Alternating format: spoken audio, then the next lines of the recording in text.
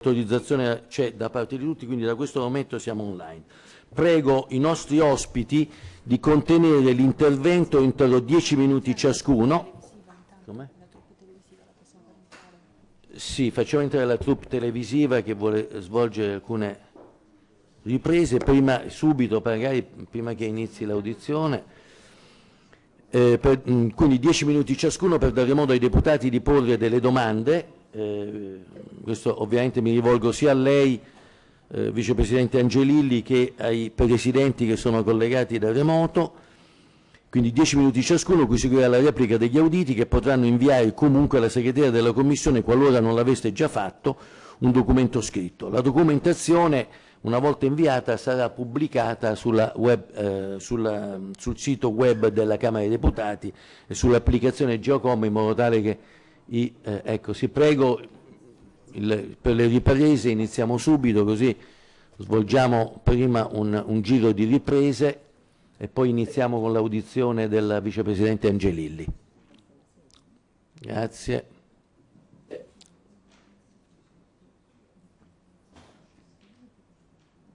Ringrazio e saluto i presidenti che sono collegati da remoto, Consentitemi di fare un saluto particolare al Presidente della mia Regione, Marco Marsilio, visto che però, mi, mi, non so se mi ascolta, mi ascolti Marco, sì?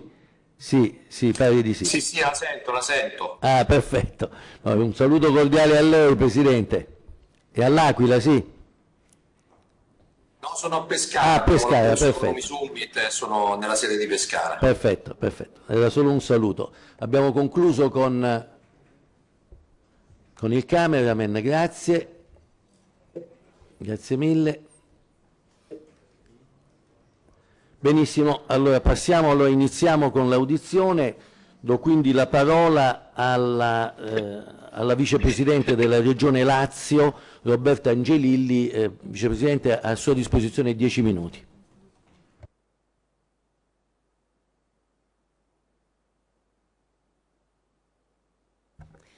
Grazie.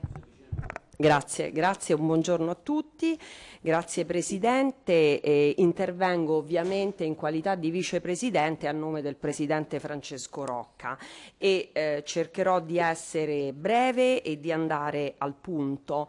Ehm, il, eh, facendo un richiamo esplicito al senso eh, principale di queste leggi e cioè eh, faccio il richiamo proprio diretto il Presidente del Consiglio eletto a suffragio universale e, e diretto per la durata di cinque anni. Ecco, eh, questo evidentemente è ehm, il senso di queste leggi e io ci ehm, aggiungo i, dal nostro punto di vista i due punti di forza che sono in parte anche scontati però vale la pena ribadirli e cioè ehm, il tema della rap rappresentatività e pertanto del rispetto della volontà popolare e il tema eh, non secondario della stabilità eh, degli esecutivi. Allora, sul tema della rappresentatività è evidente che si va a riaffermare, a rafforzare il significato e la sostanza dell'articolo 1 della Costituzione, mm, nel senso che c'è una attuazione ancora più forte della sovranità popolare che appartiene al popolo.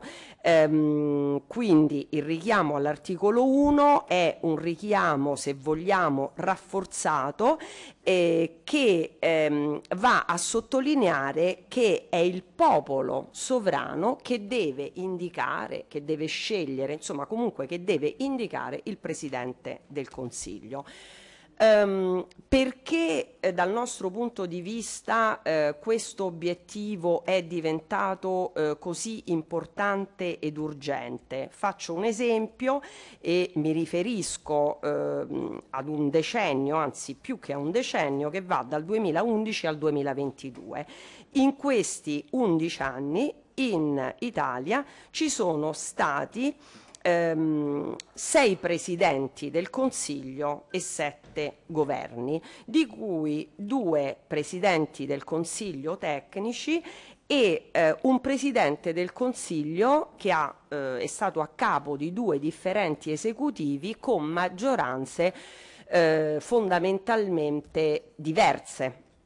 Quindi ehm, come sappiamo ehm, uno dei, dei temi eh, anche da un punto di vista politico che ha appassionato il dibattito anche popolare è stato quello di eh, partiti che avevano detto mai una maggioranza, una coalizione con un altro partito, mai per nessun motivo siamo proprio eh, su fronti opposti della barricata e poi questi partiti si sono ritrovati insieme. Ora è evidente che da un punto di vista strettamente politico, di palazzo, tutto questo è possibile e anche da un punto di vista eh, giuridico, legislativo è assolutamente legittimo, ma da un punto di vista della volontà popolare spesso eh, questi giri di valzer, questo trasformismo esasperato è stato stato percepito proprio eh, non tanto come un'incoerenza, ma proprio come un tradimento, cioè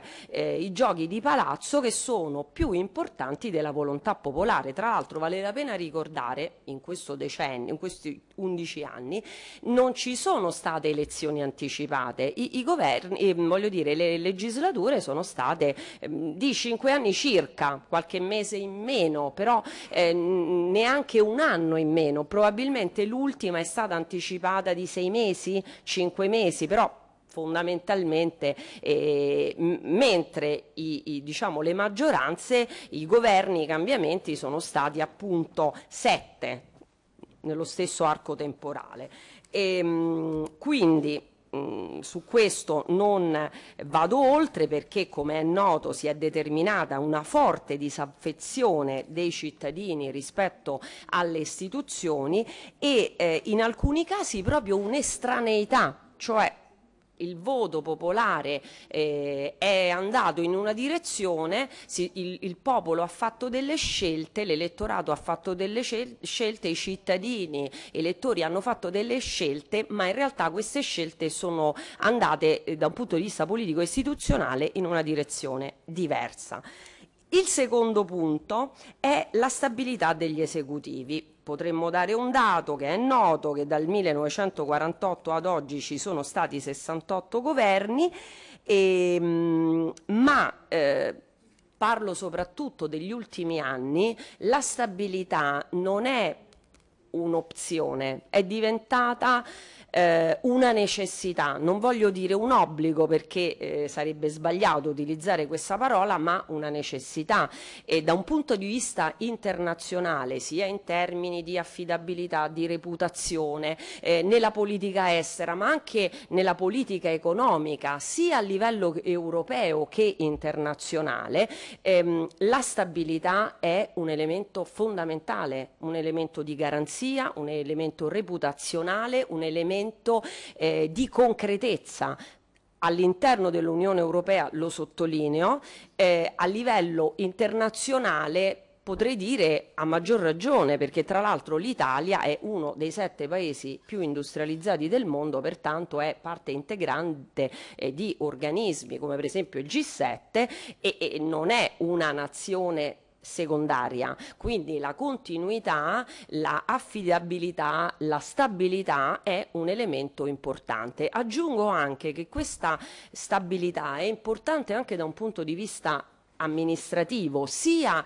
a livello di governo, quindi tutte le azioni, tutte le procedure, tutte le politiche, tutte le misure. Figuriamoci in questo momento in cui abbiamo per esempio il PNRR siamo legati a tante strategie a livello europeo nonché mondiale, ma anche rispetto alle dinamiche amministrative regionali. Per una regione la continuità eh, relazionale, istituzionale è strategica, viceversa si determinano delle interruzioni, ne potrei citare varie, mm, di cui, come dire, eh, insomma, mh, varie, gravi e serie, che apparentemente sono banali, non è successo nulla, c'è stato un cambio, c'è stata un'interruzione, c'è stato un normale passaggio di consegne, ma sono eh, come dire, elementi che hanno una ripercussione fortissima sulla possibilità eh, come dire, di, di, di, portare avanti delle misure. Penso per esempio ai fondi europei, una, una, una mancata sinergia, un mancato allineamento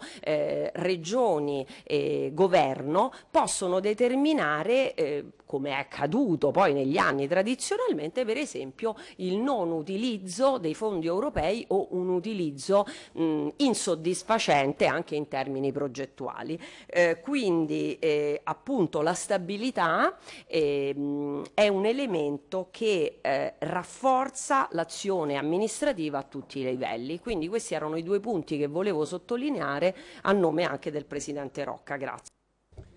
La ringrazio davvero, eh, Vicepresidente Angelilli, eh, tra l'altro è stata perfettamente nei tempi, anzi con, ci ha lasciato anche qualche minuto, la ringraziamo tanto. A questo punto passiamo al, alla seconda audizione, do pertanto la parola a Marco Marsilio, Presidente della Regione Abruzzo, eh, che ci parla in videoconferenza. Prego Presidente, a lei la parola.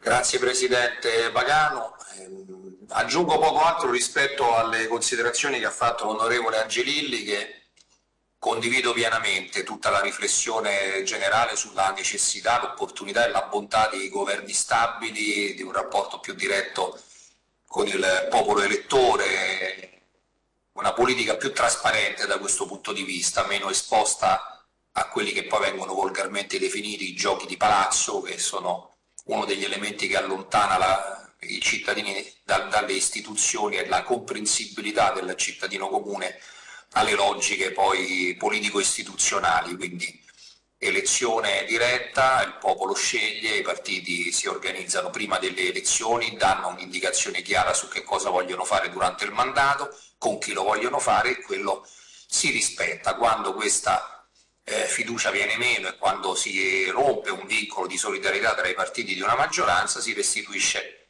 la parola al popolo. Aggiungo che questo meccanismo ormai da qualche decennio eh, largamente sperimentato nei territori, eh, qui porto appunto come presidente di una giunta regionale evidentemente la, la nostra diretta esperienza, eh, prima con i sindaci presidenti delle province finché si è votato per le elezioni dirette, poi con i presidenti delle regioni, praticamente tutte, tranne credo qualche eccezione nelle regioni a statuto speciale, hanno dato buoni risultati. Sui territori i governi sono stabili, non c'è stata nessuna com com compressione dei diritti delle minoranze né alcuna svolta autoritaria che ha in qualche maniera minato il clima democratico e di civile confronto tra le parti, eh, la responsabilità del governo cittadino o regionale ben individuata in capo al vertice apicale che appunto ha un rapporto di elezione diretta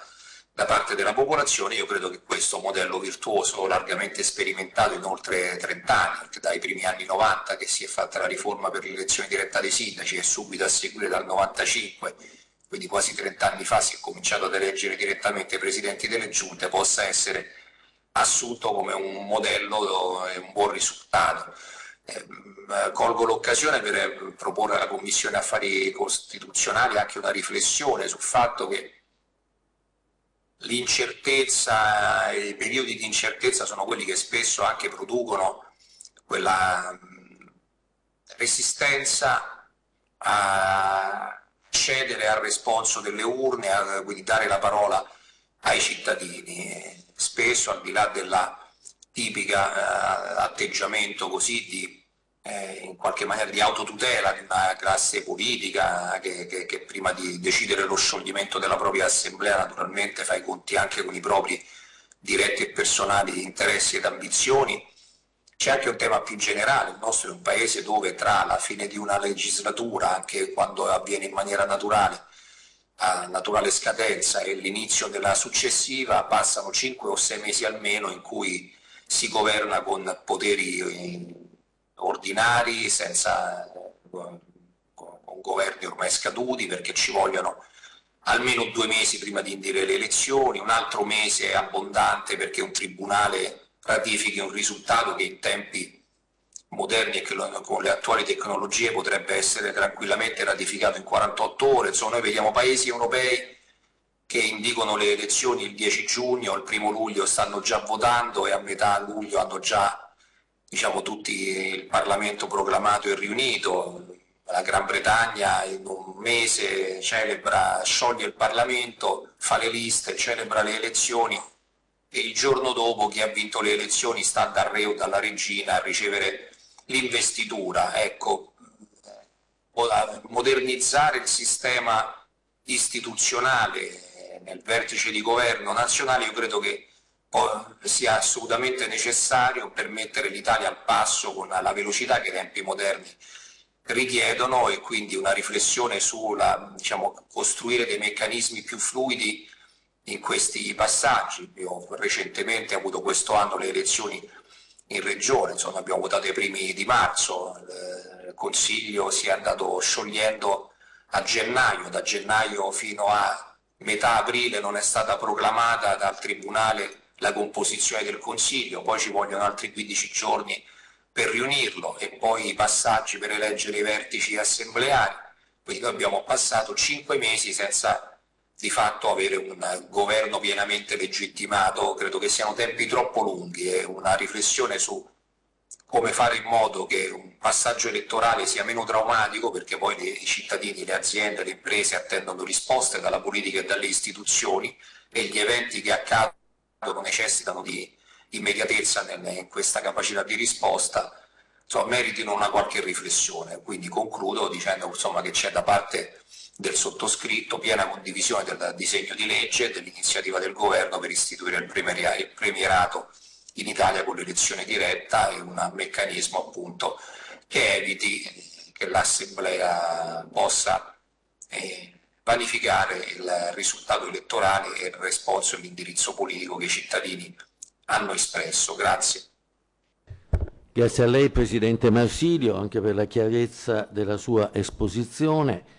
A questo punto passiamo al successivo, eh, do quindi la parola a Marco Alparone, Vicepresidente e Assessore al bilancio della Regione Lombardia. Prego Assessore Alparone, a lei la parola per la Regione Lombardia perché di fatto lei sostituisce il Presidente. Prego.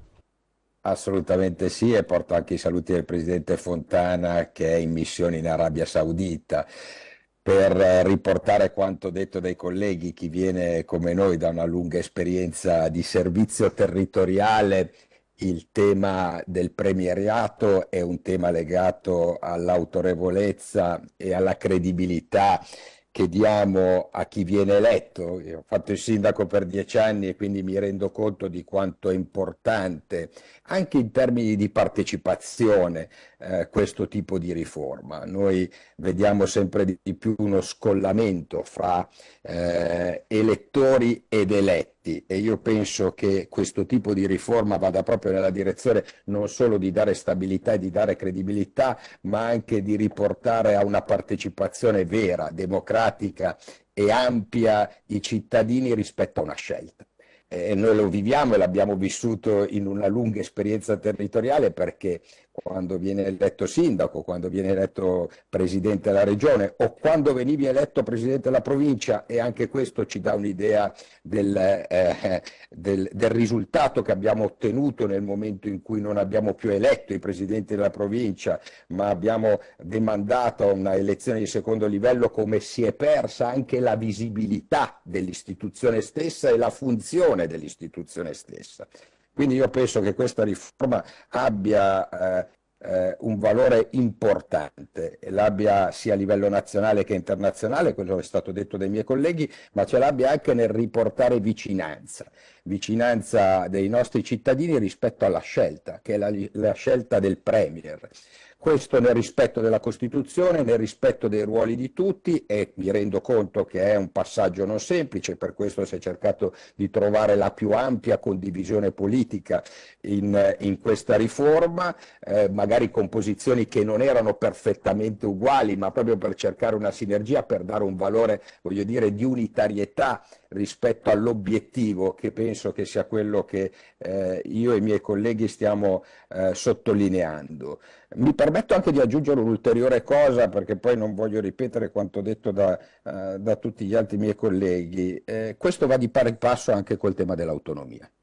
Lo dico perché ritengo che il tema dei poteri, quindi di un premier forte, di un premier riconosciuto, di un premier eletto eh, da, dal, eh, dal, popolo, deve portare anche su un tema di sussidiarietà verticale sui territori la possibilità ai governatori, ai sindaci, a chi amministra territori, a chi è vicino ai cittadini, la possibilità di poter esercitare al meglio nel rispetto della perequazione, nel rispetto della solidarietà nazionale, ma di poter esercitare al meglio le proprie funzioni proprio perché ne conosce i bisogni. Allora io penso che queste due riforme siano due riforme importanti, coraggiose, eh, perché indubbiamente sono riforme che guardano a un nuovo modo di guardare anche al, al, al popolo con una funzione primaria, che è la funzione di mettere nelle mani direttamente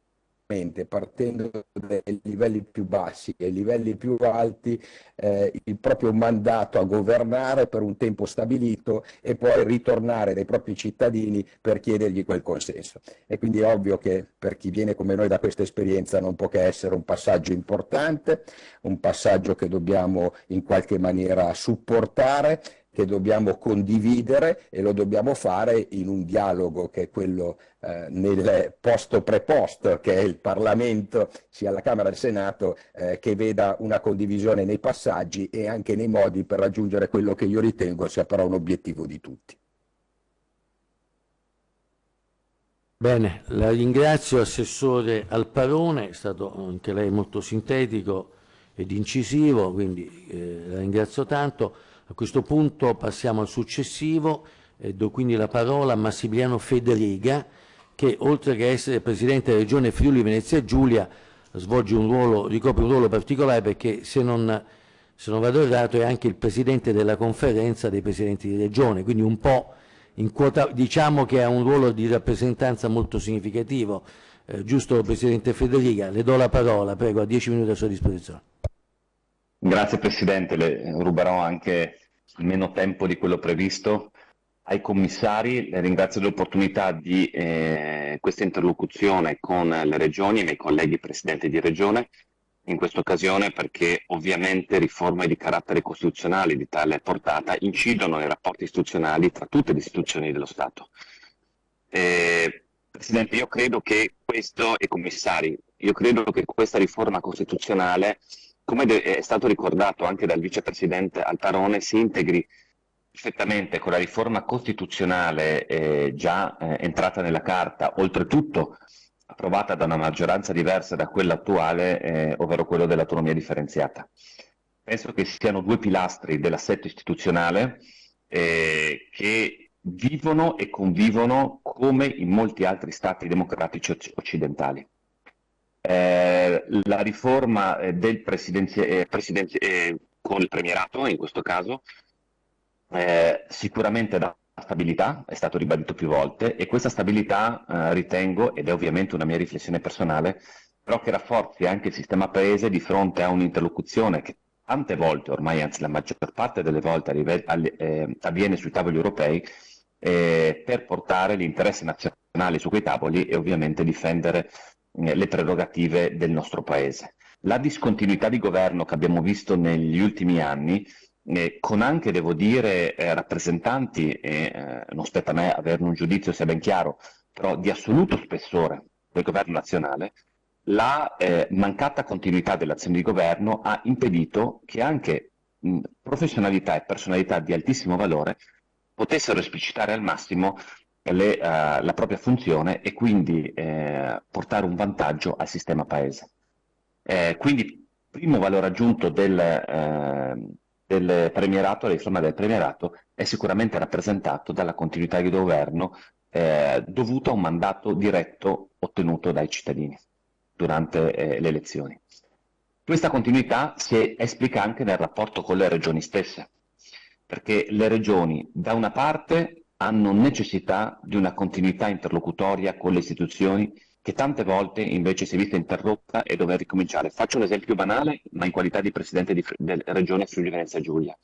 Molte volte abbiamo avviato anche in modo assolutamente positivo con diversi governi eh, norme di attuazione del nostro statuto che prevedono o avrebbero dovuto prevedere eh, delle, eh, un'applicazione con nuove competenze esercitate da Regione Friuli Venezia Giulia eh, all'interno ovviamente di eh, una condivisione con i governi nazionali.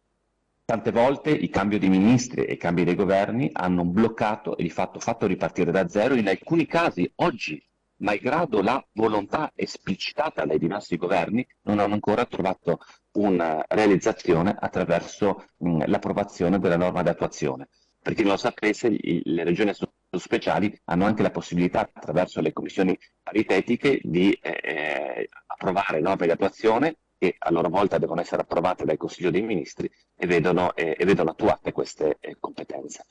È un esempio fra tanti, ma pensiamo anche per tutte le altre regioni la discontinuità di governo eh, cosa provoca all'interno anche nelle, delle negoziazioni. Dall'altro, eh, anche la forza che le regioni, la stessa conferenza delle regioni, ha eh, rappresentato, credo, in questi anni, in modo evidente, è dovuta forse anche a uno squilibrio di poteri rispetto a dei governi che invece non riescono ad avere, eh, riescono ad avere continuità. E questo lo dico, scusatemi la provocazione, e rimane una provocazione, non dell'interesse delle regioni. Quindi io non credo che qui dobbiamo fare un, eh, una lotta di posizione su chi deve esercitare maggiori poteri, ma su come possiamo governare al meglio per dare risposta alle esigenze dei cittadini. Eh, non a caso il sistema elettorale delle regioni ricorda molto la riforma oggi, di cui oggi si sta discutendo, con un'elezione diretta del Presidente legata a una maggioranza e questa è una prova empirica dà continuità di governo, stabilità e soprattutto programmazione. Un altro problema dell'instabilità di governo è la mancata programmazione di medio periodo che purtroppo continua a caratterizzare il nostro paese.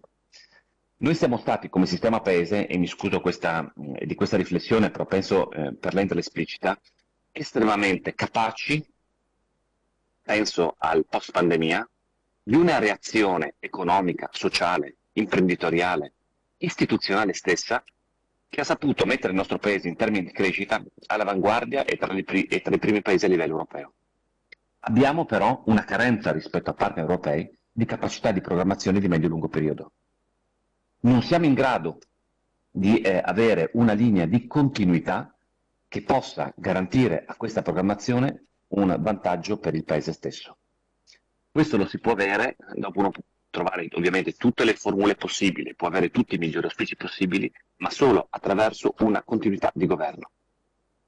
Invito veramente, e, e, invito prima di tutto me stesso e ovviamente tutti coloro con cui sto parlando, di riflettere e fare una riflessione su tale proposta non in relazione a una situazione contingente politica, né maggioranza né opposizione, perché fortunatamente, paese democratico quale siamo, c'è l'alternanza democratica al governo del paese. Ma dobbiamo riflettere, troppe volte abbiamo fatto questo errore come paese, penso sulle leggi elettorali, di riflettere sulla situazione contingente, ma invece in maniera astratta per capire qual è l'interesse eh, che eh, dobbiamo difendere, ovvero un interesse collettivo che dopo si potrà esplic- es- esplicare nelle diverse tornate elettorali in modo diverso, garantendo governi eh, di colore politico diverso, lo ribadisco fortunatamente.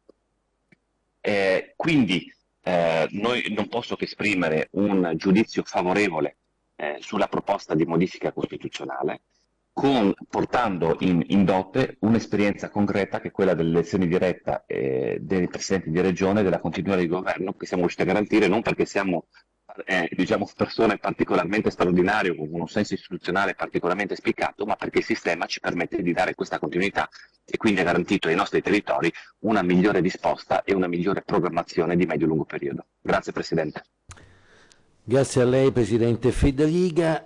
Passiamo all'ultimo dei nostri ospiti di oggi, poi eh, eventualmente se ci saranno domande lo verificheremo ed è Maurizio Fugatti, Presidente della Provincia Autonoma di Trento. Prego Presidente Fugatti, anche lei ha 10 minuti a sua disposizione.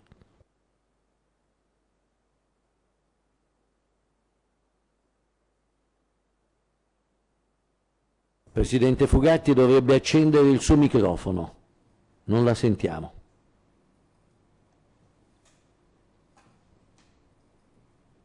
Prego. Ancora non l'ha acceso. No, non si sente, ancora non è acceso il microfono.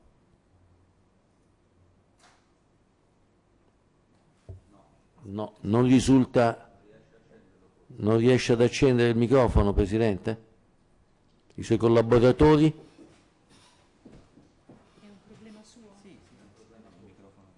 Mi dicono qui i tecnici, mi dicono... Adesso la sentiamo, prego, prego, Grazie. prego Presidente. Grazie Presidente, un saluto ai membri della Commissione, agli altri Presidenti che sono, che sono presenti.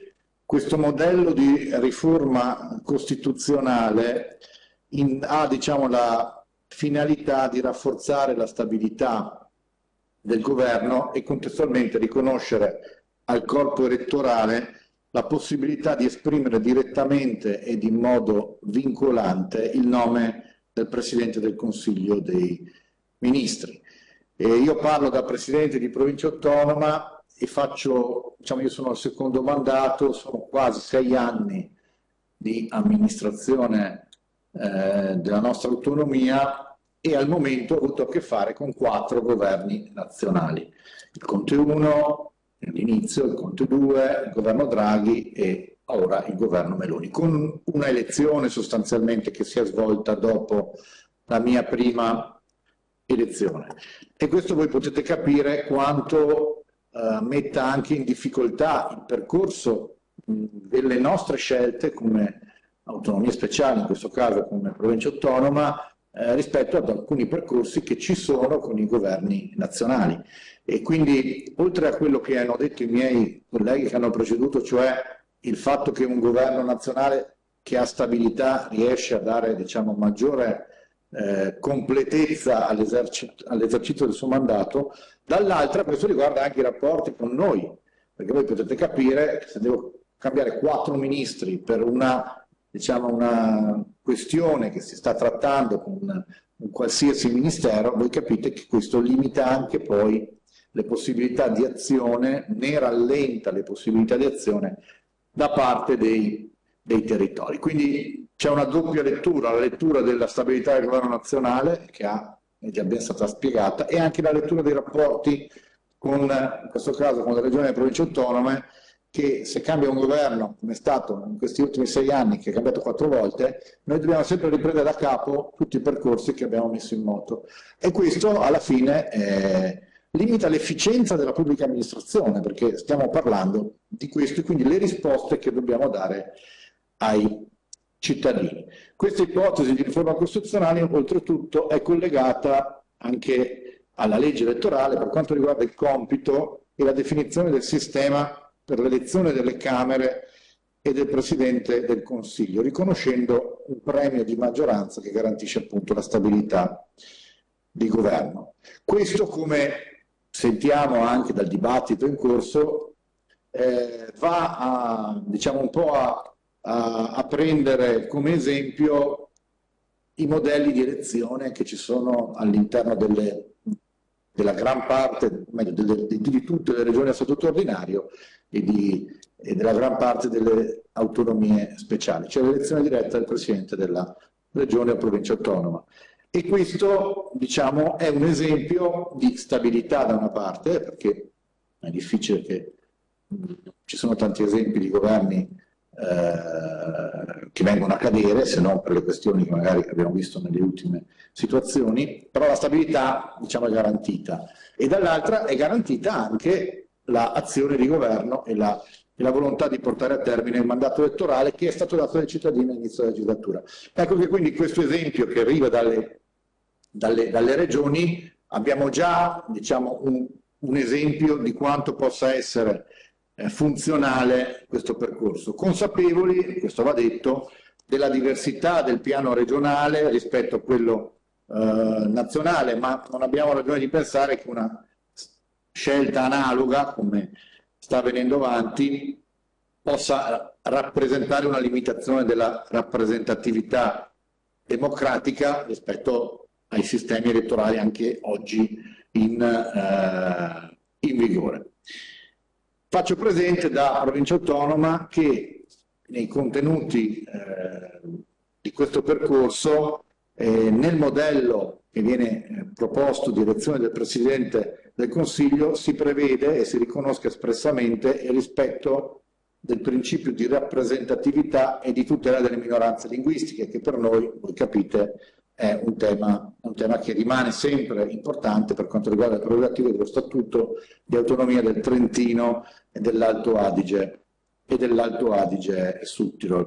Così come rimane la, uh, la presenza dei delegati uh, delle regioni e delle province autonome quando si parla di elezione del Presidente della, della Repubblica. Ci pare poi che nel dibattito che c'è stato finora comunque il testo abbia subito delle, lo dico, legittime ed oggettive eh, modifiche nel corso del dibattito che c'è stato e quindi il dibattito ha sicuramente portato a migliorare rispetto a magari a qualche criticità che nel percorso è stata evidenziata. Grazie.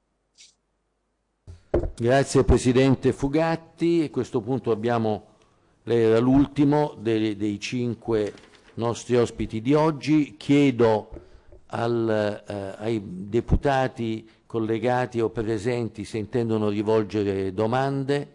Sì, eh, c'è una domanda, poi dirà lei a quali o a quale Presidente intende rivolgere l'onorevole Urzi del gruppo di Fratelli d'Italia. Prego.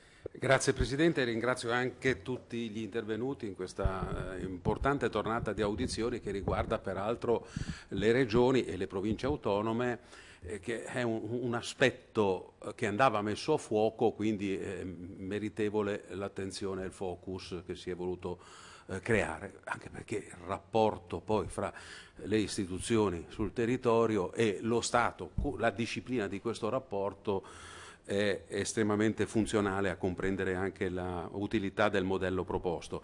Eh, io voglio ringraziare tutti indistintamente eh, volevo soffermarmi su, per una domanda sulle questioni che attengono mh, le dimensioni delle autonomie speciali. Eh, abbiamo avuto peraltro due ospiti autorevoli, il Presidente Federica che è il coordinatore delle regioni tutte, però è Presidente di una regione a statuto speciale, e il Presidente Fugatti che è il, eh, un Presidente di una provincia autonoma eh, nell'ambito della regione autonoma del Trentino Alto Adige.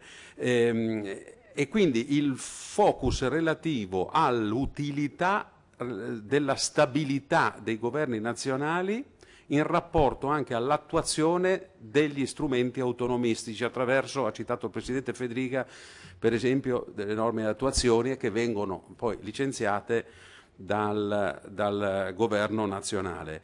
E quindi eh, io volevo una precisazione in termini di chiarezza che può essere utile anche a verbale, ossia quale ehm, eh, ehm, effettiva eh, dire, potenziamento delle opportunità delle autonomie speciali la stabilità del governo nazionale, la continuità anche di governo e dei ministri di riferimento è strutturalmente utile al, all'attuazione degli, degli, statuti speciali. E quanto questo, questo rivolto al Presidente Federica, è di interesse, anche se eh, non, non, non stiamo parlando e non parliamo di norme di attuazione, delle regioni a statuto ordinario nella loro proiezione, peraltro di autonomia differenziata che si andrà a creare e che però comunque non doteranno le regioni a statuto ordinario degli stessi strumenti delle regioni a statuto speciale per quanto riguarda per esempio norma, le norme d'attuazione. Grazie. Bene, grazie onorevole Uzzi. A questo punto è evidente che alla domanda dell'onorevole Uzzi dovranno rispondere eh, i due presidenti delle regioni a statuto speciale, cioè innanzitutto il Presidente Federica e poi eh, brevemente poi eh, il Presidente Fugatti. Prego Presidente Federica, a lei la parola per rispondere alla domanda eh, dell'onorevole Uzzi. Grazie, ringrazio anche l'onorevole Uzzi ovviamente. Eh, come dicevo, la continuità di governo eh, rappresenta nei rapporti eh, bilaterali tra autonomia speciale e governo stesso eh, un valore aggiunto importante proprio per portare eh, anche diciamo, eh, processi di autonomia rafforzata per le specialità. Eh, io come ho avuto modo di ribadire più volte anche nel dibattito, anche in audizione sia Camera che Senato per quanto riguarda l'autonomia differenziata, eh, ho voluto sottolineare come i processi di autonomia non sono unilaterali, ma sono ovviamente eh, dei processi che devono trovare il consenso della parte del territorio, ovvero le regioni o la provincia autonoma o, o le province, eh, eh, o meglio solo le regioni per quanto riguarda l'autonomia differenziata e il governo stesso. Eh, e quindi se uno dei due eh, pilastri eh, di questo processo eh, non garantisce continuità, cade e riparte, è chiaro che il ponte non rimane in piedi, quindi questo è fondamentale. Per quanto riguarda le regioni a statuto ordinario, parlo ovviamente, e questo sia chiaro, come eh, un'opinione che rappresenta la mia regione e ovviamente la mia sensibilità, non tutte le regioni, perché ricordava giustamente Leonardo Zì, io sono coordinatore, eh, non posso ovviamente esprimere perché sapete su alcuni passaggi anche di queste riforme c'è una posizione differenziata eh, per alcune regioni, seppur eh, minoritarie. Per regione assoluto eh, ordinario, la continuità di governo anche nell'ordinarietà rappresenta un elemento fondamentale per le regioni stesse. Faccio un esempio. La continuità di governo può rappresentare, per esempio, la possibilità di una programmazione pluriennale, per esempio, dei fondi destinati alla sanità che permette di fare programmazione. Oggi eh, abbiamo difficoltà perché noi ogni anno dobbiamo eh, eh, ipotizzare e dopo vedere se vengono confermate il Fondo Sanitario Nazionale. Continuità di governo permette di fare quella programmazione di cui parlavo nel mio primo intervento. È un esempio fra tanti, e forse quello più eclatante perché stiamo parlando della principale fonte di spesa per quanto riguarda le regioni, ma questo ovviamente è replicabile per qualsiasi altro tipo di intervento. Per questo, per quanto ci riguarda la continuità, è, è un principio da difendere, valorizzare e magari ovviamente cercare di garantire in prospettiva. Grazie Presidente Federica, adesso do la parola per concludere l'audizione di oggi al Presidente Fugatti, sempre per rispondere alla domanda dell'onorevole Ozzi. Prego Presidente Fugatti. Solito problema del microfono, chiedo scusa Presidente. Ditemi quando è collegato. È collegato? Prego. No, non ancora, non ancora.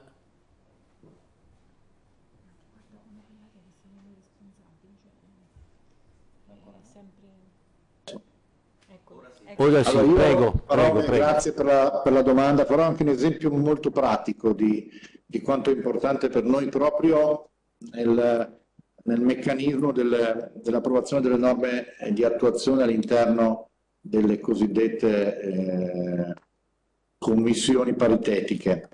E nel momento in cui noi come giunta provinciale e regionale decidiamo di, di provare ad approvare una norma di attuazione che deve essere fatta in accordo con il governo, perché deve essere poi approvata dal governo, nel momento in cui va nella commissione nostra paritetica e viene approvata, poi servono i pareri dei vari ministeri interessati. A volte si può, ci si può mettere una settimana, a volte qualche mese, ordinariamente. Ma se nel frattempo cambia il governo, quel percorso che noi abbiamo iniziato di una settimana o mesi, e molto spesso si tratta di mesi, deve ricominciare da capo, perché se nel frattempo il governo è cambiato, dobbiamo andare a riavere i pareri dei ministeri su quella nuova attuazione e quindi a volte si perde anche eh, periodi lunghi, cioè può perdere anche anche a, almeno un anno. E quindi questo è un esempio pratico di come nei rapporti tra uh, autonomie speciali e il governo nazionale, la stabilità del governo nazionale alla fine rende più efficiente anche il nostro legiferare da una parte prima e poi poter governare sulla base delle leggi approvate. Grazie. Bene, a questo punto ringrazio anche il Presidente Fugatti, ringrazio ovviamente nell'ordine tutti i presidenti che hanno preso parte a questa audizione, cioè la vicepresidente Roberta Angelilli della Regione Lazio, che ringrazio è qui in presenza, eh, l'aspettiamo prossimamente per altri provvedimenti, eh, vicepresidente Angelilli, il presidente Marco Marsilio, eh, presidente della Regione Abruzzo, il, il vicepresidente assessore al bilancio della Regione Lombardia Marco Alparone, il Presidente della Regione Friuli Venezia Giulia Massimiliano Federiga e infine Maurizio Fugatti, Presidente della Provincia Autonoma di Trento.